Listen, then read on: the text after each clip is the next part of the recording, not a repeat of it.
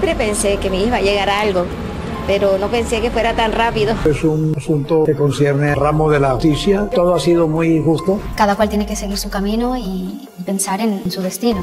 Sí, si eso es lo que ellos quieren, que los haga felices. Nidia Ripoll, la madre de Shakira, vuelve a romper el silencio, pues parece que no está para nada feliz con las recientes acciones de su ex yerno hacia su hija. Y es que según cuentan fuentes cercanas a doña Nidia, aseguran que luego de enterarse de lo que hizo Piqué durante las negociaciones por la custodia de sus hijos, nuevamente se disgustó muchísimo. Sin embargo, lo que el futbolista haría después de esta presencia fue la gota que colmó el vaso.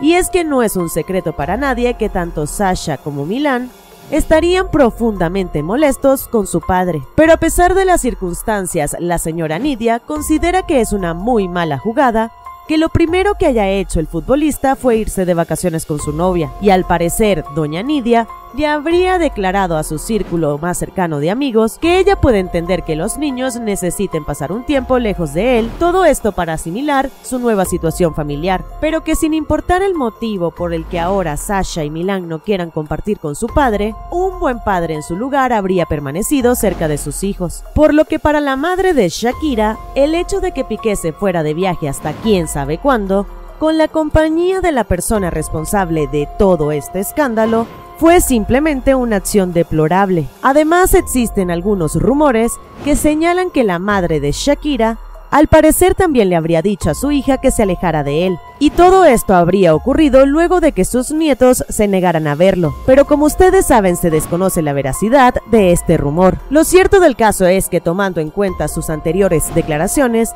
no se puede dejar a un lado que posiblemente ella se haya dicho algo al respecto, aunque no haya utilizado esas palabras precisamente. Pero sí es posible que le haya aconsejado a su hija que se mantuviera lejos del jugador del Barcelona. Pero pese a sus diferencias, Shakira y Piqué siempre estarán unidos por sus hijos, por lo que más temprano que tarde, ellos tendrán que buscar la manera de llegar a un punto medio y empezar a construir una relación cordial por el bien de Sasha y Milán.